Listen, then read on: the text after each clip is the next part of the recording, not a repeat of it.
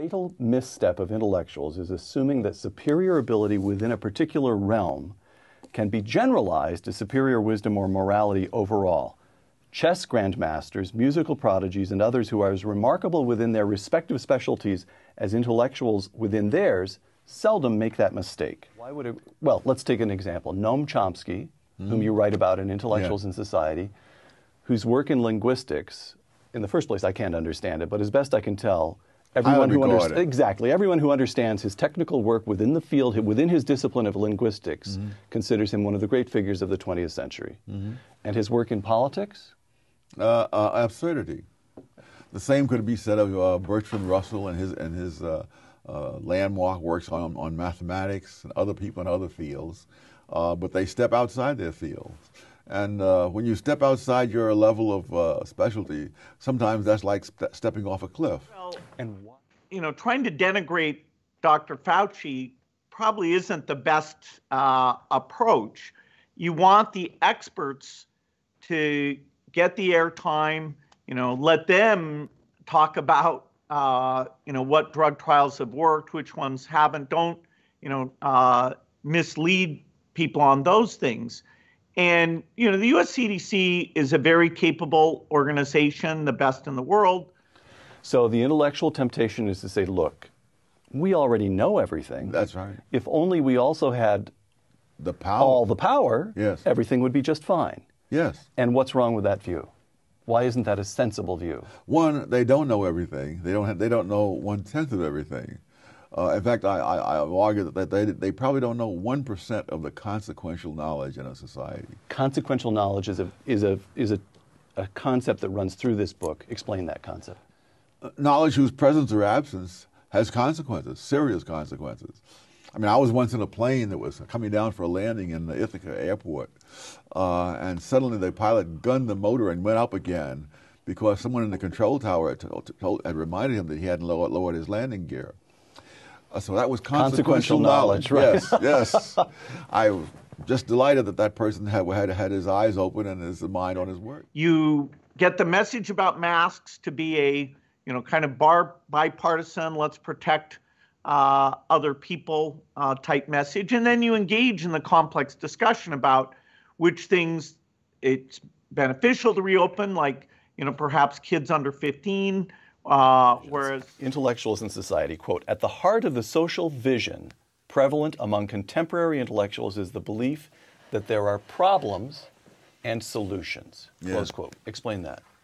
Well, the, the, people with the vision of the anointed, as I call it, believe there are solutions and that intellectuals have the inside track in providing those solutions.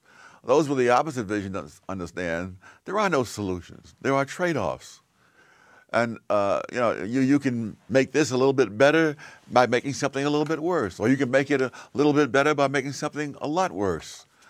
And that, right. should you mentioned masks. Should masks be nationally mandated bill? Well the downside to wearing a mask is so low that i mean i don't i can't understand why you know it's it's even a controversy at all. The mask is cheap. It's easy to wear. It has no negative effects if you're going outside your house, you put on a mask because you'll end up getting close to people. And we know this is not a coughing disease, just talking uh, can expel the virus. You know what's best for your health, therefore, we must make the decision in a bureaucracy in Washington. That's right. How. I, well, if you've been told all your life, and, and many of these people have, from an early age, they, they were in the class for bright, gifted children. They were the ones who got into the good high schools. They were the ones who were accepted in colleges that accept uh, less than 10% of the applicants. Uh, uh, they, have heard this all through their lives. And after a while, they must, in all due modesty, uh, believe it. We should be able to manufacture a lot of vaccines, and, and that vaccine, uh, key goal is to stop the transmission, to get the immunity levels up so that you get almost no, almost no uh, infection going on whatsoever. But finally, we see none other than Mr. Gates admitting what we were saying since 2020 and got censored for. And there's no way to censor this because it's the words of Mr. Gates himself, and the comedian Jimmy Dore is simply commenting on what he says. But here we go. And then at that point, we didn't really understand the fatality rate. You know, we didn't understand that it's a fairly low fatality rate and that it's a disease mainly of the elderly, kind of like flu is, although a bit different than. Track record. I remember years ago encountering a, a fellow who had been a teaching a, a, fellow at Harvard when I was an undergraduate, and I said to him, uh, I've been noticing that whenever there's a great disaster, there always seems to be a Harvard man in the middle of it. he, he, he said, Have you noticed that too? Bill Gates is one of the world's richest men. His ability in software, however, does not translate into a self appointed role as a leader of the pandemic response. As Sowell points out, he has literally walked off a cliff intellectually, as everything he says here is wrong.